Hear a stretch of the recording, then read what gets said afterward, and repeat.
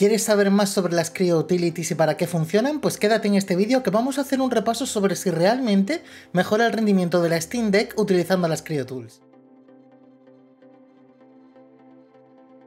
Hola, hola, soy Juan y bienvenidos a este vídeo de la Steam Deck. Hoy vamos a hablar sobre las Cryo Utilities o Cryo Utilities y que son básicamente una serie de utilidades creadas por el desarrollador CryoByte 33 y básicamente lo que hacen es mejorar, en teoría, el rendimiento de la Steam Deck. ¿Y por qué digo en teoría? Porque en teoría de sistemas operativos, bajo la teoría de qué es lo que hacen los algoritmos que ejecuta este desarrollador, sí, sobre el papel lo que realiza es una mejora porque optimiza cómo funciona el sistema operativo. Pero ¿y qué pasa en la práctica? Pues tenemos que ver realmente si esto impacta de manera positiva pues en la ejecución de juegos en la Steam Deck. Esto hay que cogerlo con pinzas porque esta serie de modificaciones o optimizaciones que os voy a enseñar funcionan muy bien en dispositivos que tienen una baja capacidad o por ejemplo cuando estaba floreciendo el mundo de la computación en el que los recursos eran limitados. Hoy en día ya sabemos que tenemos a lo mejor Google Chrome, las aplicaciones consumen más de la cuenta y como tenemos máquinas tan potentes como viene a ser un buen hardware, una buena tarjeta gráfica, una buena CPU, pues este tipo de optimizaciones ya no son necesarias. Pero bueno,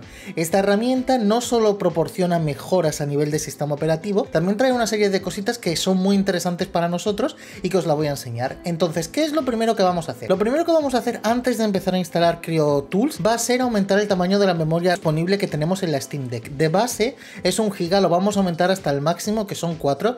Tranquilos, que esto no va a hacer que vuestra Steam Deck se rompa ni mucho menos, pero para ello tenemos que reiniciar el sistema.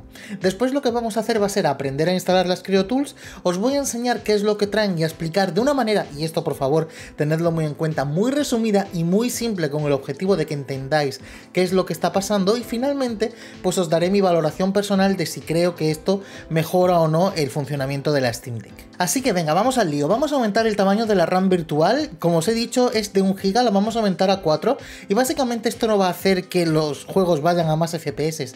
Es simplemente que vamos a tener más memoria virtual disponible en caso de que nuestra RAM se quede cortita. Entonces, ¿cómo hacemos esto? Pues lo primero que tenemos que hacer es apagar la Steam Deck. Y ahora vamos a entrar en la BIOS. ¿Cómo hacemos eso? Pues mantenemos pulsado el botoncito de subir volumen y el montón de power durante unos segundos hasta que la Steam Deck haga un sonidito. En este menú nos vamos a utilidades y en la sección de avanzado pulsamos la flecha derecha y nos vamos directamente a UMA Frame Buffer Size. Aquí si pulsamos el botón Up nos aparecerían todas las opciones que tenemos disponibles, por defecto está en 1 GB, lo ponemos a 4. Ahora lo que tenemos que darle es al botoncito de opciones, este que tiene como un cuadradito, y le damos a que sí, que queremos guardar los cambios y se nos va a reiniciar la Steam Deck. Con esto hemos aumentado el tamaño de la RAM virtual, genial, esto va a ser bueno porque así no nos vamos a quedar o va a ser menos probable que nos quedemos sin memoria cuando estamos ejecutando juegos pesados. Y ahora nos volvemos al modo escritorio, ya sabéis, mantenéis pulsado el botón de power unos segundos, cambiar escritorio. Bien, pues ya solo con esto hemos conseguido aumentar un poquito lo que viene a ser los recursos del sistema operativo sin necesidad de instalar nada extra. Ahora sí que vamos a utilizar las utilidades de CryoByte, para ello nos vamos a venir a su repositorio y aquí si bajamos hacia abajo vais a encontrar un enlace donde se puede descargar el script para instalar la aplicación. Es este, le dais con el clic derecho y le dais a Save Link As. Este pequeño script lo tenéis que guardar en el escritorio, le dais a Save, y aquí ya podemos cerrar esta página si queremos. En el escritorio encontraréis el icono, le dais doble clic y os dice si lo queréis ejecutar, decís que sí. Este programa necesita permisos de administrador, o sea que necesitáis una contraseña. Si no habéis puesto nunca una contraseña en el sistema, os recomiendo que lo hagáis desde una interfaz visual, es mucho más fácil que con la terminal, y para ello os venís aquí al icono de inicio, le dais al icono de vuestro usuario, y aquí os aparecerá la opción de cambiar la contraseña. Simplemente ponéis la contraseña que queráis y le dais a guardarla. Si ya la tenéis puesta y no os acordáis de qué contraseña habéis puesto y queréis recuperarla, tenéis que hacerlo a través del vídeo que tengo subido en el canal y que os dejo en la descripción. Genial, pues con esto ya tenemos las Utilities. Esto, veis que lo tenemos aquí. Este script, si queréis, lo podemos eliminar. Y bueno, vamos a abrirla. Simplemente doble clic en las Utilities. Aquí me está diciendo que este programa originalmente se pensó para aumentar el tamaño de la memoria swap de la Steam Deck. ¿Qué es la memoria swap? Esto está muy relacionado con la memoria virtual. Y es que básicamente cuando el sistema operativo se queda sin memoria RAM, lo que hace es tener una pequeña memoria auxiliar que lo que hace es tirar del disco duro. No es tan rápida como la RAM, pero bueno, te permite almacenar archivos de intercambio que necesites para que el programa funcione. Básicamente es como cuando estás en un escritorio, tienes un montón de papeles y dices, uy, necesito un poquito más de espacio, pues te pones una mesita auxiliar. Esto es lo que hace el sistema operativo por defecto, lo que pasa es que el tamaño de esa memoria normalmente es pequeñito y en juegos como Red Dead Redemption se queda corto. Entonces, podéis hacerlo de dos formas, o a través de la terminal poniendo vosotros los comandos, o directamente utilizando las CryoTools para ponerlo lo más grande posible. Así que decimos que sí, que básicamente queremos utilizar el programa para eso. Ahora nos pide la contraseña, ¿por qué? Porque esto va a hacer cambios en el sistema operativo, por lo tanto necesita permisos de administrador, así que la ponemos. Genial, pues aquí tenemos las CryoUtilities y ahora es donde empieza lo bueno. Esto es muy sencillito de utilizar y realmente no tenéis que saber nada, así que si no queréis saber muy bien cómo funciona esto, podéis hacer skip hasta la parte en la que os comento personalmente mi experiencia. Fijaos que aquí os dice si queréis aplicar las eh, configuraciones recomendadas por CryoByte, le decís que sí, si queréis, le dais a recomendado y fijaos lo que pone aquí. Nos va a aumentar la memoria de swap a 16 GB. Esto significa que va a coger 16 GB del disco duro. Si tenéis la memoria de la Steam Deck, perdón, de 64 GB, vais a notar un tajo importante porque esto básicamente se va a guardar ahora para el swap, así que tenedlo en cuenta. Si queréis volver a la configuración por defecto, simplemente le dais a stock y listo, y se vuelve de nuevo a como estábamos antes de empezar. Entonces vamos a empezar con la sección swap. Esto está relacionado con lo que os acabo de decir, esa memoria de intercambio para que los juegos no se os cierren automáticamente. Esto no hace que tengáis más FPS, es básicamente que de repente el juego no se cierre porque no tenéis memoria. Esto de swapping es básicamente una acción que realiza el sistema operativo por defecto y que comprueba realmente qué zonas de la memoria están disponibles ya para ser utilizadas de nuevo. Esto es por ejemplo si habéis cerrado algún programa o algo, esa memoria se queda residual y puede ser utilizada de nuevo. Entonces por defecto está a 100 y CryoByte lo que hace es ponerlo a 1 para que el sistema operativo compruebe con mayor frecuencia qué cantidad de memoria tenemos disponible y por lo tanto pueda ser utilizada por los juegos en ejecución. Esto lo que hace es que mejore un pelín, pues a lo mejor el stuttering, es decir, esos tirones cuando el programa necesita un poquito más de recursos. Así que bueno, nosotros lo dejamos a 1, pero el sistema operativo por defecto también funciona muy bien en 100. Esta opción de memoria quizá pueda ser la más compleja y voy a intentar hacer un pequeño dibujo para que lo entendáis. Vamos a imaginar que cada programa o cada juego tiene un libro, ¿de acuerdo? Necesita un libro para poder funcionar. Entonces nosotros tenemos ahora mismo el programa triángulo que tiene su libro, esto es el libro, tenemos el programa Círculo o el juego Círculo, que tiene también su libro, y tenemos el juego, pues no sé, por ejemplo Cuadrado, que también tiene aquí su libro. ¿Un libro de qué está compuesto? Pues básicamente está compuesto de páginas. Entonces el programa Triángulo tiene sus páginas, el programa Círculo tiene sus páginas y el programa Cuadrado tiene sus páginas. Ahora imaginad que tenemos un escritorio, porque todos vamos a trabajar a la vez, esto es el sistema operativo, y todos quieren poner sus páginas encima del escritorio pues para poder trabajar para poder ejecutarse, pero nosotros no podemos colocar las páginas en el escritorio libremente, tiene que haber alguien que se encargue de gestionarlas porque esa es la única regla de que nosotros no vamos a poder tocar el escritorio.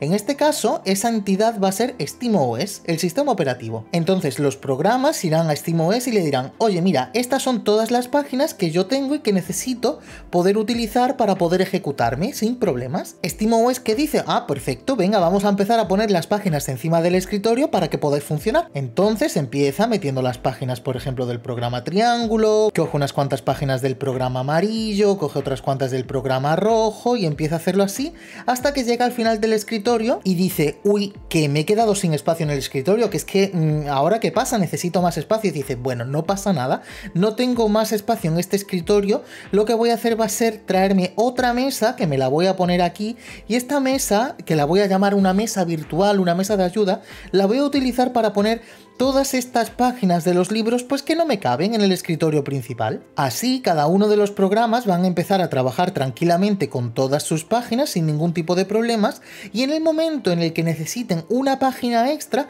pues yo lo que voy a hacer va a ser ir a mi escritorio virtual y la voy a utilizar.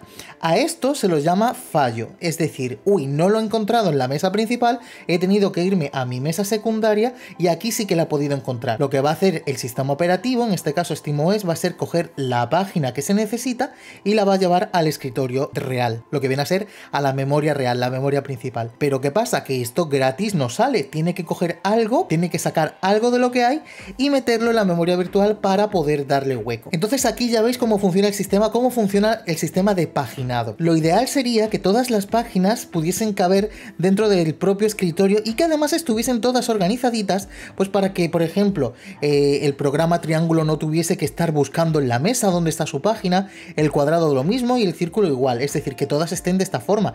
Esto sería lo ideal y que todas pudiesen entrar sin necesidad de utilizar este escritorio virtual, pero esto no es posible, no generalmente no funciona porque a medida que vamos teniendo más programas ejecutándose a la vez, pues menos espacio disponemos. Es lo que tienen los sistemas multiproceso. Además de esto, tenéis que entender que las páginas pueden tener distinto tamaño, es decir, una página puede ser de este tamaño o puede ser de este tamaño. Cuanto mayor sea la página, más probabilidades hay de que no quepa directamente en la mesa. Imaginad que la página ocupa todo esto, veis que se sale de la mesa y es que directamente no se podría ejecutar. Sin embargo, si la página fuese demasiado pequeña, imaginad que fuese así, necesitaríamos muchísimas páginas en el libro del programa para que pudiese ejecutarse. Sí que es verdad que podría caber mejor en el sistema, pero en caso de que hubiese fallos porque ya no cabe más, tendríamos que hacer muchas operaciones de ir de nuevo a buscar directamente a la mesa auxiliar aquí y esta operación, este fallo, tiene un coste, o sea, no sale gratis, ir a esta mesita virtual no sale gratis. Esto es lo que hace que, por ejemplo, se produzcan tirones en los juegos, porque cuando el programa dice, vale, necesito esta página de aquí, si no la encuentra y tiene que ir a buscarla aquí, eso lleva un coste de cómputo, un tiempo de cómputo y el juego puede pegar un tirón. Entonces, básicamente lo que hace esta optimización de CryoTools es decir, vale,